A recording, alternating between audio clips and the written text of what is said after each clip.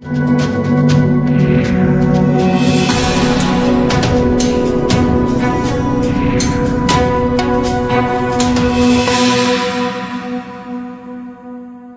वक्त मैं मौजूद हूँ नजफगढ़ नांगलोई रोड पर और दिया इंडिया चेंजिंग लाइव्स। जो संस्था है, वो लोगों को राशन वितरण कर रही है। दिखा दें एक बार। ये संस्था जो है, राजधानी दिल्ली के अलग अलग इलाकों में जो है, प्रयास करती है कि जो लोग हैं, वो कहीं ना कहीं भूखे ना रहें, जिनको लेकर राशन वितरण का कार्यक्रम जो है, ये संस्था लगातार राजधानी दिल्ली के अलग अलग इलाकों में करती है, क्योंकि दिया इंडिया चेंजिंग लाइफ जो फाउंडेशन है, वो बच्चों का ट्रीटमेंट भी कराती है और चौदह चौदह साल के बच्चे तक की उम्र में अगर जो कोई परेशानी है किसी को, या कोई आपत्ति है, या मेडिकल की जो सुविधा चाहिए वो ये संस्था कराती है। कई तरह के जो ट्रीटमेंट है, वो संस्था की तरफ़ से मुफ़्त दिए जाते हैं। बात कर लेते हैं जो संस्था में काम करते हैं लोग उनसे भी। मैडम क्या नाम है आपका? एक बार कमलजीत कौर। कमलजीत जी कब से जो है ये राशन वितरण का कार्यक्रम आप लोग कर रहे हैं दिया इंडिया चेंजिंग लाइफ की तरफ़ से? हमको काफ़ी साल हो गए हैं। पाँच से छः से सात साल से हम ये काम कर रहे हैं। वॉर अगेंस्ट हंगर के प्रोजेक्ट के अंदर हम ये काम कर रहे हैं और 250 प्लस जो फैमिलीज़ हैं, उनको हम मंथली राशन से हेल्प करते हैं, जिसमें ज़रूरत की मंथली चीज़ें होती हैं। आटा, दाल, चावल, चाय पत्ती, चीनी, बच्चों के लिए मैगी, कभी बिस्किट्स तो वो जो डेली नेसेसरीज आइटम्स है, उससे हम हेल्प करते हैं। तो मेडिसिन के मामले में जो बताया जा रहा है कि जो आपकी संस्था है, वो कुछ लोगों के ट्रीटमेंट भी कराते हैं। हाँ बिल्कुल। प्रोजेक्ट आयुष में हम लोग बच्चों की ट्रीटमेंट कराते हैं। चौदह साल तक के बच्चों की ब्रेन सर्जरी हार्ट सर्जरी में हेल्प करते हैं। जैसे किसी बच्चे के दिल में छेद है या स्टंट डल है तो हम उन चीज़ों में हेल्प करते हैं बच्चों क- कितने लोग जुड़े हुए हैं आप लोगों के साथ? क्योंकि राजधानी दिल्ली में ही करते हैं। या अलग अलग इलाकों में देश के जाते हैं। हार्ट सर्जरी के केसेस तो हमारे पास उड़ीसा नेपाल हर जगह से आते हैं। मुंबई हो गया कोई भी बिहार हो गया, यूपी सब जगह से आते हैं। दिल्ली से भी आते हैं और सारे केसेस लेते हैं। सर्जरी यहाँ पे दिल कुछ हमारे जो हॉस्पिटल्स हैं, जहाँ से हमें कॉन्टैक्ट्स आते हैं कि हाँ ऐसा कुछ केस है। हम इंक्वायरी करते हैं कि ये केस है, बच्चे को ज़रूरत है या पेरेंट्स बच्चे की सर्जरी की कॉस्ट नहीं दे पा रहे हैं तो उन उन केसेस में हम हेल्प करते हैं। तो आ, आपके लोग कितने लोग जुड़े हुए हैं दिल्ली के अंदर? दिल्ली के अंदर हम लोग कितने लोग जुड़े हैं? हमारी टीम है आठ से दस लोगों की। वो सब ये इन चीज़ों में हेल्प करवाती है फंडिंग करते हैं। तो काफ़ी सपोर्टर्स हैं जो हमें हेल्प करते हैं जिनकी हेल्प से ही हम बच्चों की लाइफ सेव कर पाते हैं इन लोगों को राशन दे पाते हैं। और और भी काफ़ी सेवा कर पाते हैं हम हमारे सपोर्टर्स की हेल्प से ही कर पाते हैं। जो जो संस्था है वो राजधानी दिल्ली के अलग अलग इलाकों में जाकर लोगों की मदद करती है और राशन वितरण करती है। और बात करेंगे कुछ लोग और भी यहाँ पर खड़े हैं। कब से आप लोगों की मदद जो है यहाँ पर की जा रही है? बहुत साल तक बेचारे कंबल भी दे जा रहे हैं आटा भी बांट रहे हैं सब कुछ देते हैं मदद करते हैं हमारे। अच्छा। तुम करते हो मदद। कितने साल हो गए आप लोगों को यहाँ पर? हमारे को 20 साल हो गए यहाँ रहते रहते अच्छा। तो काफ़ी लंबे समय से यहाँ पर हाँ। हाँ हो है। हाँ कुछ और लोग भी यहाँ मौजूद हैं उनसे भी बात कर लेते हैं। कुछ परिवार हैं यहाँ पर।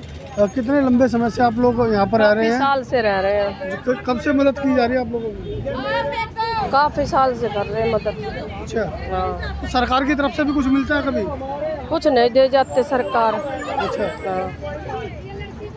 जो लोग हैं वो वो लोग हैं जिनको राशन वितरण किया जाता है जो दाढ़ी मजदूरी करते हैं और अपने परिवारों के साथ सड़कों पर रहते हैं जिसको लेकर जो लोग हैं वो यहाँ पर पहुँचते हैं। हम क्या कहेंगे जो ऐसी संस्थाएँ हैं जो लोगों की मदद कर रही हैं उनको लेकर उनके लिए बहुत अच्छा है हमारे लिए धन्यवाद। मैं उनको बहुत बहुत धन्यवाद कहना चाहूँगी हमारी वो कर रहे हैं सेवा कर रहे हैं। हमारे वैसे ही मेरे घर में मेरा पति दारू पीता है तो मैं काम वाम करती हूँ।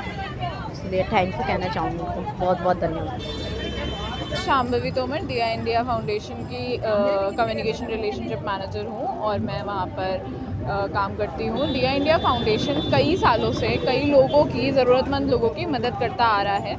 जैसे कि हम ज- लोग बहुत गरीब हैं, उन्हें सर्दियों में कंबल देते हैं। वो गिफ्ट ऑफ़ वार्मथ एक इनिशिएटिव है हमारा, जिसमें कि हम उन्हें ब्लैंकेट्स देते हैं और बच्चों को कैप्स देते हैं सॉक्स देते हैं। और एक गिफ्ट ऑफ़ मोबिलिटी है, जिसमें कि जो कि हैंडीकैप लोग होते हैं, जिन्हें व्हील चेयर्स और स्टिक्स की ज़रूरत होती है जो कि इंडिपेंडेंटली चल नहीं पाते हैं। हम उन्हें व्हील चेयर्स और स्टिक्स भी प्रोवाइड करते हैं।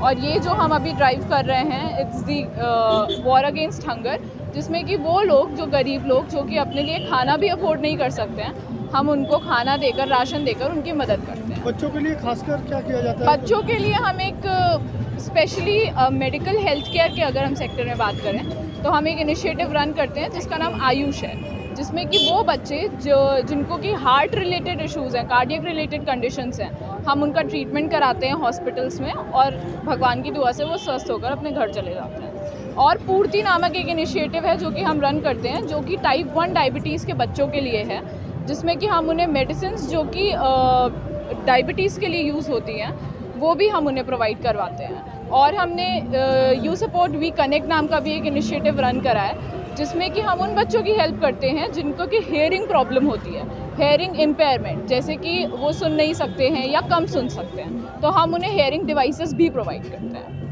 आ, हमारी संस्था में कार्य जो होता है वो बहुत ही नीडी और पुअर लोगों की हेल्प करने के पर्पज़ से होता है। जैसे कि कुछ प्रोजेक्ट्स हैं आयुष जिसमें हम हार्ट सर्जरीज बच्चों की कराते हैं फ्री ऑफ़ कॉस्ट और जो आज आप देख रहे हैं, ये वार अगेंस्ट हंगर हमारा प्रोजेक्ट है। इसमें हम बहुत सारी फैमिलीज़ हैं, जिनको मंथली बेसिस पे राशन प्रोवाइड करते हैं। इधर वो कच्चा राशन है या पक्का राशन है।